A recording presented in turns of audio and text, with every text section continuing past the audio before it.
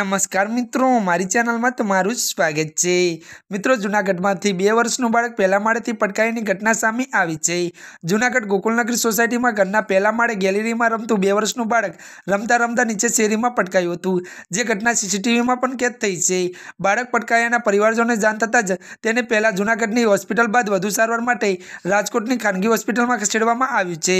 જૂનાગઢ શહેરમાં આવેલી ગોકુલનગર સોસાયટીમાં સાંઈકૃપા નામના મકાનના પહેલા માળે ગેલેરીમાં રમતું બે વર્ષનું બાળક નીચે પટકાયું હતું. ત્યારે મિત્રો જેના સીસીટીવી પણ સામે આવ્યા છે, જેમાં જોઈ શકાય છે કે પરિવારના સભ્યો જ્યારે ઘરની અંદર હતા ત્યારે આંખના પલકારામાં બાળક નીચે પડી જાય છે.